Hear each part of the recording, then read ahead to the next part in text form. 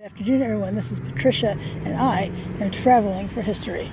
And traveling I am. I spent two hours driving down to Bellows Falls, Vermont today for this building that's right in front of us.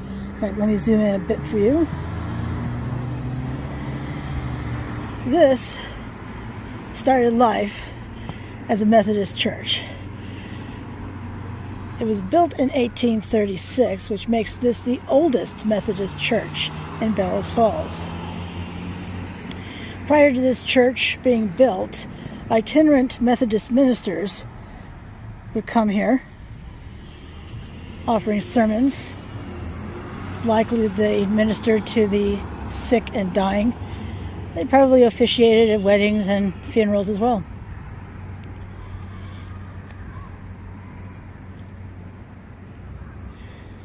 When this building was built, this became a permanent pulpit for them. After this church finished service at church, it was uh, owned by the Grange, and then uh, it was owned for 44 years by the Meeting Waters YMCA. In fact, locals do call this the YMCA. I tend to call buildings by what their first uh, use was. The uh, Meetings Waters YMCA then sold it in 2017 to a local gentleman, an antiques dealer, for one dollar. I don't think it takes a rocket scientist to know that if you buy a building for one dollar, it has big, expensive problems structural issues, roofing issues, likely systems issues, and let's just toss in the kitchen sink full of other issues. He quit claimed, uh, he signed up on a quit claim deed, and uh, now the village of Bellows Falls owns it an engineer uh, looked at it and determined that it does indeed has uh, uh, structural issues. It is uh, structurally unstable. I know that the village trustees are also concerned that uh, roofing shingles could fly off and hit the kids in the playground just that's just behind it.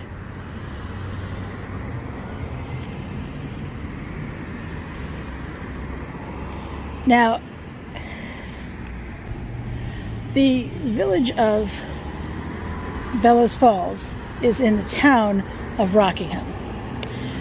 The village board of trustees and the uh, Rockingham board of uh, the select board had a joint meeting, and uh, in that meeting, each board voted unanimously to demolish this building, this 185 year old structure. For the problems I listed above, you know, beforehand.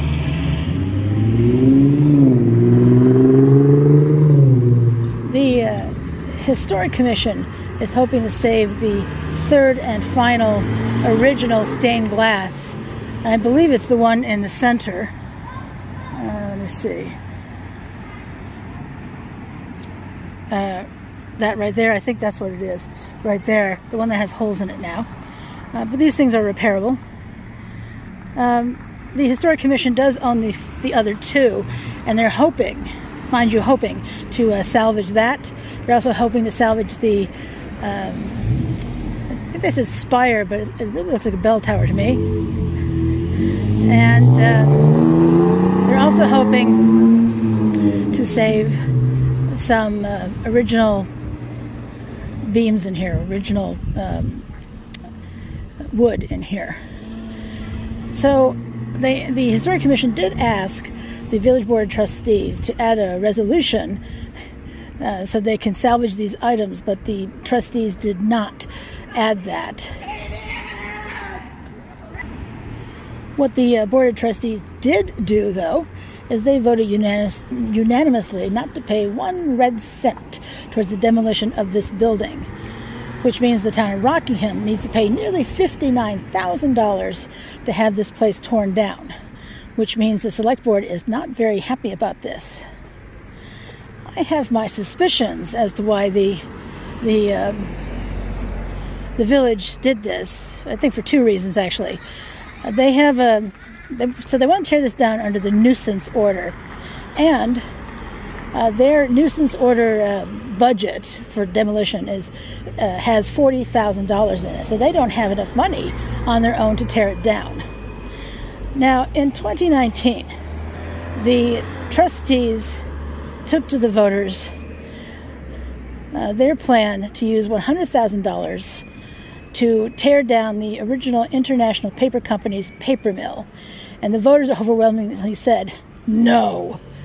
So instead, the uh, village trustees applied for local, state, and federal grants to make that building structurally sound and to help restore it. Now, last I knew, the building is that building is structurally sound. I don't know where it is in the restoration process. So, my guess is because I don't know, and I, I read the uh, the bylaws of uh, Bellows Falls. Yep, I had some extra time on my hands. I was expecting to have to really delve in and and uh, get to it, and I have to say uh, that was not the case. I have never seen such short bylaws in my born days as what they have here in Bellows Falls.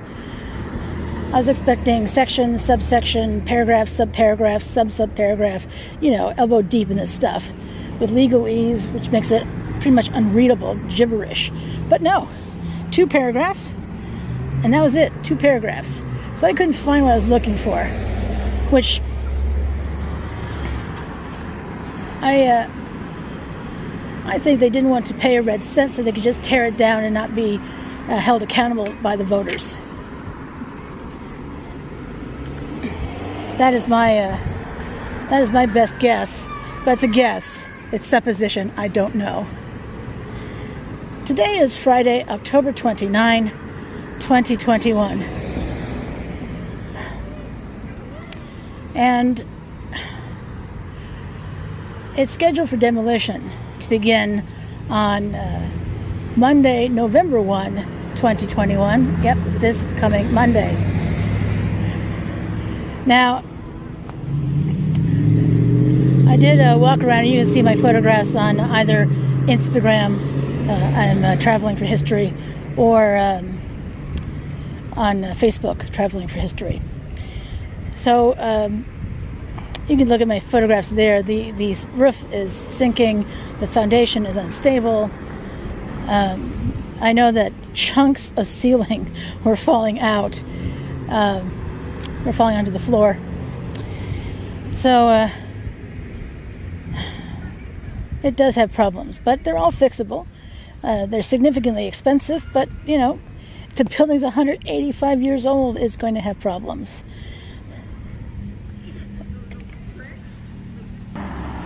And you may be thinking, well, what do you mean by demolish? You mean you're going to salvage it, right? I mean, I would think that there's wood in here uh, from trees that have gone extinct. Uh, that's my another guess, but I mean, given it's 1836, yeah. But um, uh, no, they don't plan to salvage a doggone thing. They plan to. Uh, uh, these, this $59,000 quote is to um, crush the building and throw it away as if it's garbage.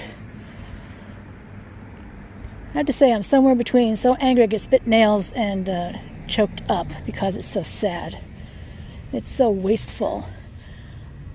There was talk about uh, selling this as, a, as part of a tax sale uh, this past summer.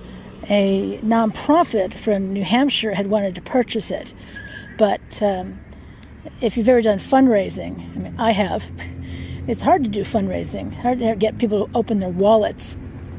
Although I think this would have been a worthy cause. Um, the uh, village demanded a hard, uh, a hard, um, what they call that? A hard decision, and the um, the nonprofit couldn't give that to them, so they're just going to tear it down instead. Now, the gentleman who bought it for a dollar had wanted to turn this into a community arts center. Wow, how amazing would that be? A new lease on life. But alas,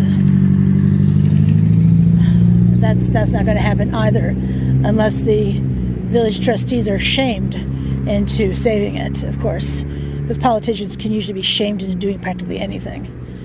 Anyway, So this is the, um, uh, this address is 66, that's the 66 Atkinson Street in Bellows Falls, Vermont. It's supposed to rain all weekend, and uh, Monday, I think the chance of rain is 7%. I guess it's a good day for demolition. So let's take a walk around to this building now, and you'll get a better idea of how sad it looks. I should mention also that uh, there's a, an article in the Brattleboro Reformer, which is a newspaper local to this area, which documented the owners of the, of the building here. And uh, they did state in that article that uh, the Meeting Waters YMCA, which had owned the building for 44 years, did no maintenance on it. Oh my gosh, that's just despicable. Despicable. Really. Um, an organization that's been around almost as long as this church, I might add. But um, yeah, let's go take a closer look, see at this place. Uh, it's so sad. The wanton, the, the, if you own a building, you have to maintain it. I mean, you just have to, period. Maintain your home, you paint it. Anyway.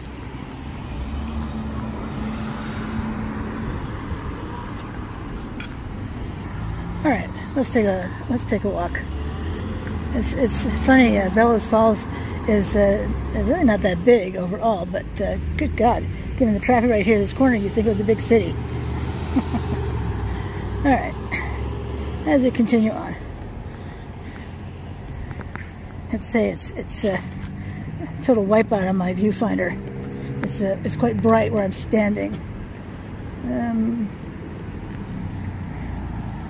and let's take a closer look at what I think is a belfry.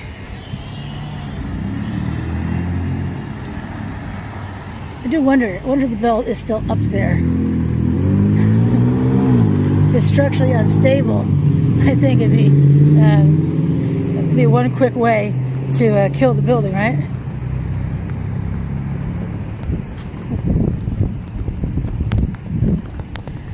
All right, as we continue on,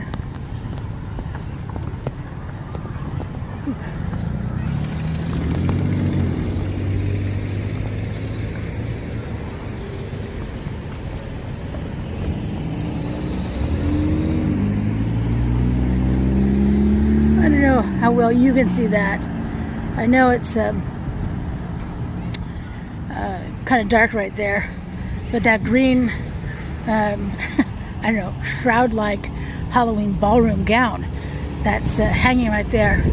I know from looking at other pictures online that that uh, it's just bare wood, and maybe you can see that on the side here. That actually continues down to here over.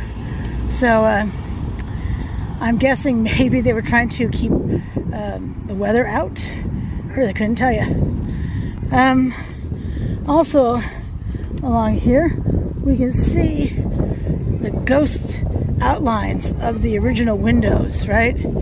Those, uh, um, you know, the, well, we can picture uh, stained glass windows in a church, how they have that uh, that uh, point at the top, just like these do. You see the things that, where people could access the building are boarded over. The, uh, the village trustees cited spending $20,000 to rent this fencing around here. So, um, as part of the reason why they didn't want to pay for the demolition of this building.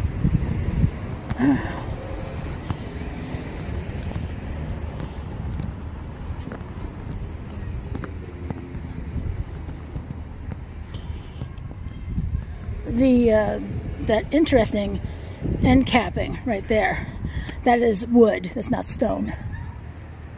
Now the original building looks like it was a Greek revival style, and then a uh, oh, I'm not even sure if that's Gothic or what that is on the front, but um, but interesting that they carried on the the motif right here, the pilaster talked about pilasters before. They're columns built into a wall.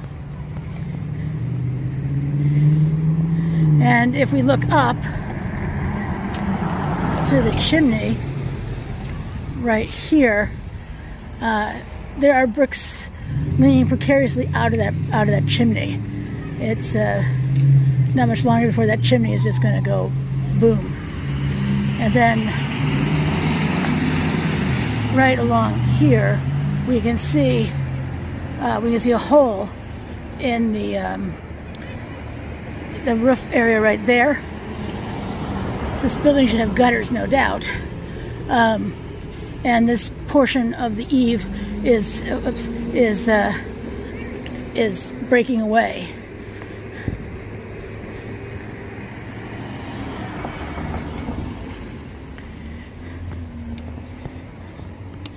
And then as we come as we come around to the back side of the building, we can see the kids playing in the playground. By the way,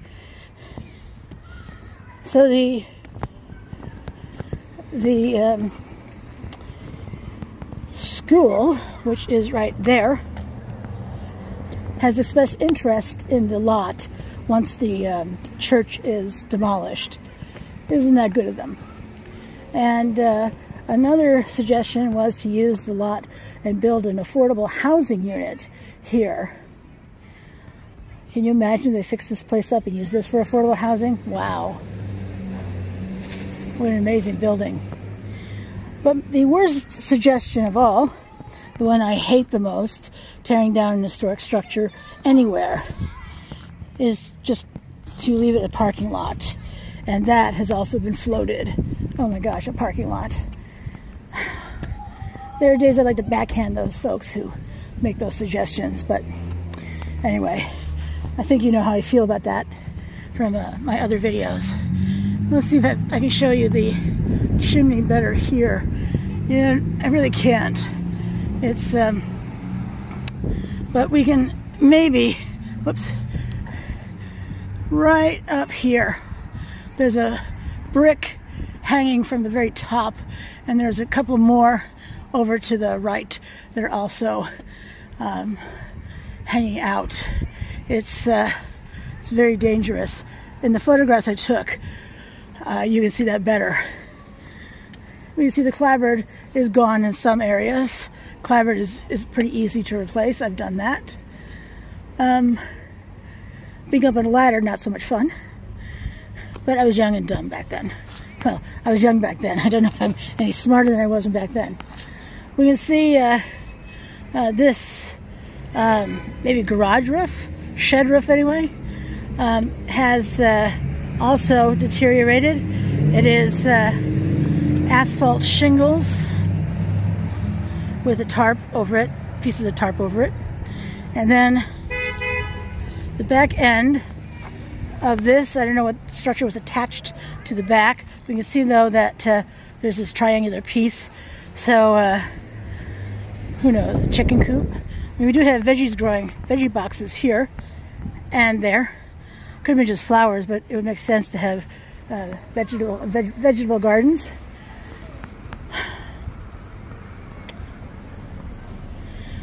Let's walk around to the front of the building. And of course we have a handicap um, walkway right here, you know, wheelchair ramp.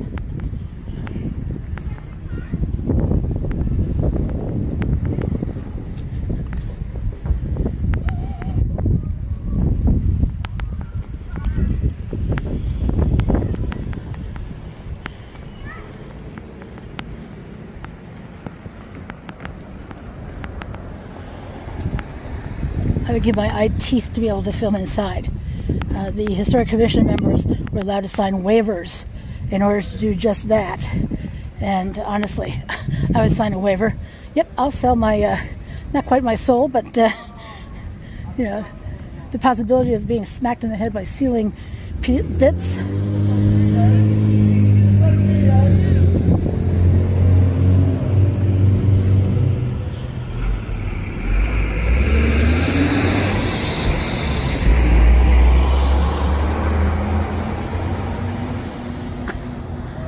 Let's see, can we see this better now?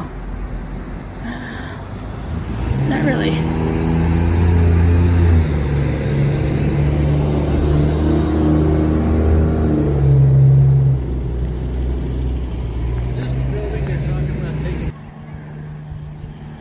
I always want to have a chat with uh, someone who's asking questions.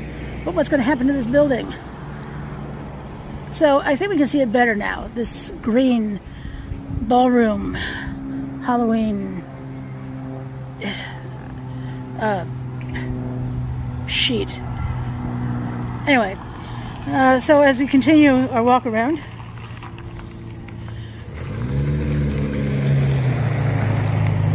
you can see it better here on the corner, the, the paint peeling, and you see this is wood as well. And uh, more uh, boarded up windows. These wonderful columns here.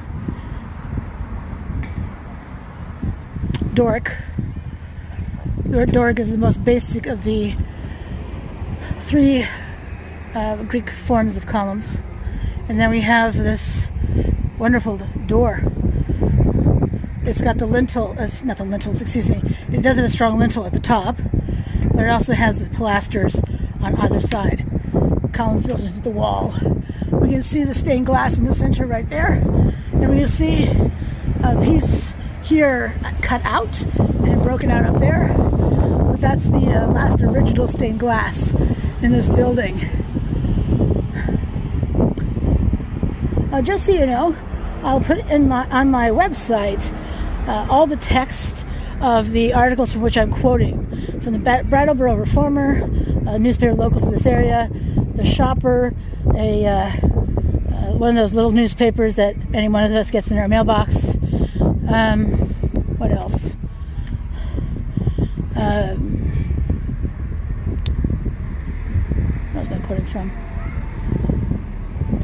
and uh, whatever else I can find that, I, that I've been quoting from today. If you heard any music, that was from someone's car radio. We can see uh, paint's appealing. It's not very appealing when paint is peeling. Um, also, up here, we can see you can see certainly uh, water damage up here. Um, this is why gutters are so important on a building. Alright, here's some more music coming our way. I think I hear the bass more than I hear anything else. So we can um, we can see on the original part of the building the um, these end pieces, right, and the pilasters up there, up here. And then when they put this addition on the front, uh, they have the pilasters and the, the corner pieces. I just think that's fantastic that they repeated these elements. Now I can't uh, actually walk by or walk do a whole rock walk around of this building, but uh, you can see also on this side more of the um, the uh, ghost windows left behind which would have been stained glass, of course. On this side, we can see more damage on the shingles, um, probably water damage. But uh, such a shame to tear it down. So, November 1, I'm not sure what time demolition is supposed to start. It's almost tempting to come down to film it, but uh, I don't think I can stomach it, to be honest. But um, anyway, again, this is 66 Atkinson Street in Bellows Falls, Vermont. And um, I hope in your area that one of these demolitions is not afoot because it's such a loss to the community. And I was thinking how many generations I would have to go back to have relatives who were alive when this place was built. And uh, six generations, including me. Six. And I'm in my late 50s. So, children here, I mean, my gosh, how many generations were them? 10? 12? More? I don't know. Anyway, heartbroken, no doubt. Anyway, on that note, on this sad note for this this once proud building. I appreciate your coming with me today. This is Patricia. I am traveling for history, and until I see you again, you have a great day. Thanks. Bye.